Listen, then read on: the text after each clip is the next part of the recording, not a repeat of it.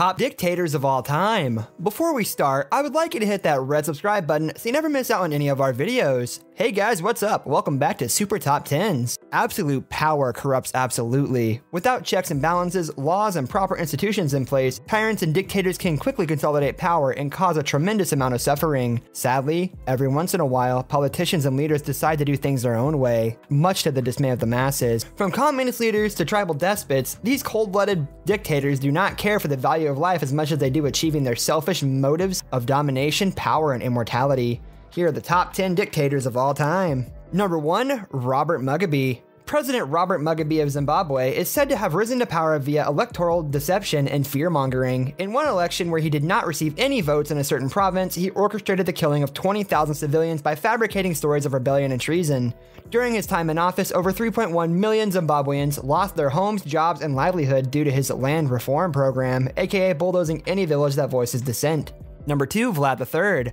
This tyrant's association with vampires and Dracula are well placed. Vlad III killed countless numbers of people and delighted in violence and the cruel treatment of prisoners and rebels. He enjoyed impaling his victims and supposedly even bathed in their blood. Number 3. Kim Jong-il. Kim Jong-il had nearly a quarter million people arrested during his rule and is directly responsible for the starvation and deaths of millions of North Koreans. Number 4. Genghis Khan. Khan spent time as a slave during his teenage years before he united the Mongol tribes and went on to conquer a huge part of Central Asia and China. His style is characterized as brutal, and historians say he slaughtered civilians in mass. Number 5. Francisco Franco. Francisco Franco was a Spanish captain general, the highest military rank in the country, who later ruled Spain from 1939 to 1975. Franco was a hard conservative who firmly opposed the establishment of the Second Spanish Republic in 1931. It was in 1936 that Franco, along with other Spanish generals, launched a military coup against the newly elected left-wing government. It was the beginning of the Spanish Civil War. After winning the Civil War in 1939, Franco imposed laws banning his political rivals and protests. He executed close to 200,000 people during his regime. Number 6. Omar al-Bashir. Omar Hassan Ahmad al-Bashir ruled Sudan for three years from 1989 to 2019.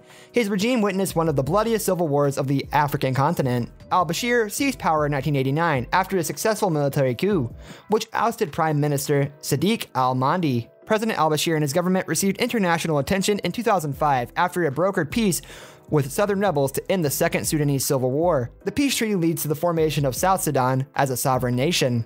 In 2009, Omar al-Bashir was indicted by the International Criminal Court for war crimes in Darfur. It was the first time in the history that a sitting president was charged with such a misdemeanor. The war in Darfur, often cited as one of the world's worst humanitarian disasters, caused nearly 3 million people to displace and registered 300,000 deaths. Number 7. Adolf Hitler. If Adolf Hitler had died in 1938, he would have gone down in history as one of the greatest leaders in history. He turned the ruin that was Germany after the Treaty of Versailles into the greatest country on earth. He was adored by the German people. The poor loved him, and the common people loved him, and the rich loved him. Everyone had jobs, everyone was happy. He did more to protect the animals and environment than almost any other world leader in history. Hitler started out leading a country with no military, and in five years he had a military strong enough to conquer the world. If it hadn't been for the war and especially the Holocaust. Number 8. Kim Jong-un.